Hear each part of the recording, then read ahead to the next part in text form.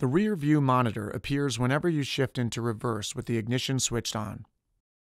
Yellow width guidelines are a reference to the approximate width of the vehicle.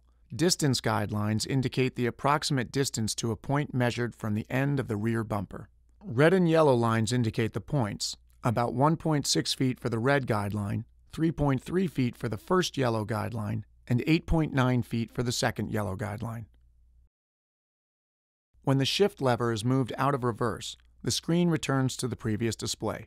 Picture quality adjustments can be made while the shift lever is in reverse. Select the slide down icon to open the tab. You can adjust brightness, contrast, tint, and color. Select the desired item and adjust the picture quality using the slider. If you need to reset, press the Reset button. Select the Slide Up icon to close the tab.